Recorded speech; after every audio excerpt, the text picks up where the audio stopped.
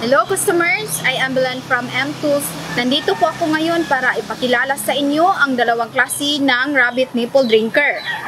Ito po ay rabbit nipple drinker all metals. May kasamang plastic at screw.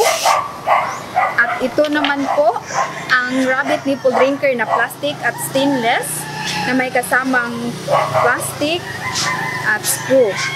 Ito po ay magandang gamitin dahil durable at cleanable po.